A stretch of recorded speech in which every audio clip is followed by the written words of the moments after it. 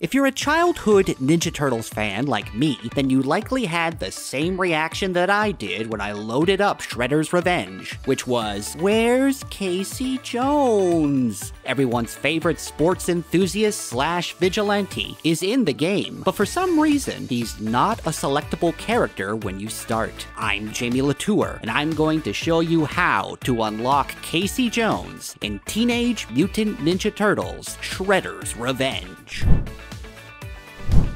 Now, I've got some very good news for you, and that's that unlocking Casey Jones isn't too hard. All you gotta do is beat the game. That's right, that's it. Just get through all 16 levels, including the final level, Wrath of the Lady. You'll get some cutscenes immediately afterwards, featuring the Punk Frogs and a celebratory pizza party. And my god, look how excited Master Splinter is about that sushi platter. After these little cutscenes, the end credits will start, and you can't skip through them, but you can hold the A button to speed them up, which is appreciated. At the end of the credits, you'll see the words Cowabunga, thank you for playing, and afterwards, you'll be informed that you've unlocked Casey Jones. Casey's a lot of fun to play with, and he's also a good choice to tackle the game's level challenges as he's slightly more powerful than the other characters. That's because he gets 7 stars to spread out across his stats as opposed to 6 like everyone else. This gives him 3 stars in range and 2 stars in power and speed. This doesn't make him too OP,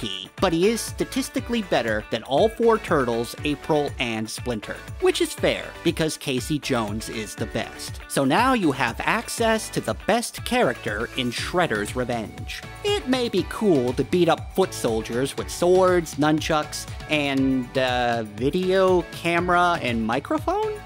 Is she reporting on this fight? But there's something truly satisfying about fighting crime with golf clubs, hockey sticks, and basketballs. All that's missing is a cricket bat. For more Teenage Mutant Ninja Turtles Shredder's Revenge news and guides, check out thegamer.com. Thanks for watching, and we'll see you next time.